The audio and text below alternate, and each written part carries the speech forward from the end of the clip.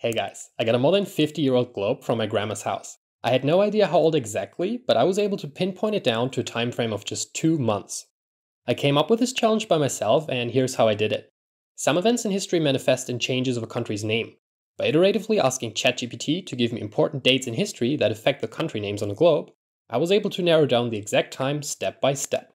It took less than an hour to get a lower and upper limit that span a time frame that is precise down to only two months. The final result is as follows.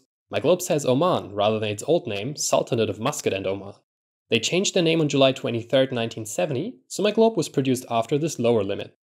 Similarly, Fiji became independent from Britain on October 10, 1970, marking the upper limit of the time my globe can be from.